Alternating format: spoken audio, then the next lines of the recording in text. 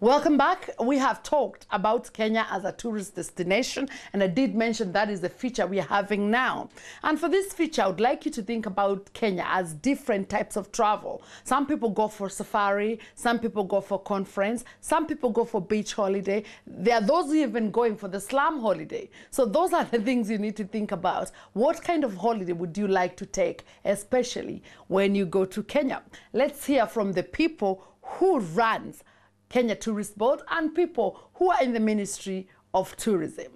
Tell us, uh, Cecily Mbarire, what have you done right to be able to uh, attract such kind of uh, people to come here today at Kenya? Um, well, one of the things that we've done is uh, we do a lot of marketing. And uh, to do marketing, you have to put in quite a bit of money in it. Uh, we've engaged a local uh, company, marketing company right here in the UK that does the marketing for us. And uh, this company has been able to link us very closely with the, the, the trade markets, the, the travel markets uh, in, the UK.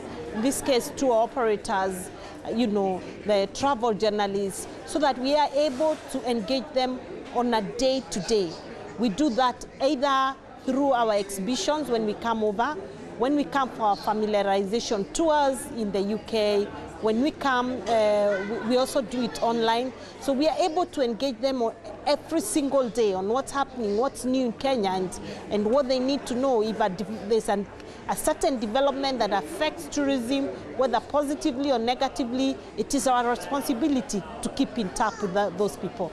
I'm going to challenge you because we have seen like the Ministry of Housing accessing the diaspora big time, encouraging them about investment. We have not seen such an outreach from the Ministry of Tourism. Why is it that you have uh, actually not uh, invited or worked with the diaspora in terms of the product you've got and even engaging them to take the holidays back home? Why is there no outreach? Um, I must say that, um, yes, uh, we haven't done much with the Kenyan diaspora here.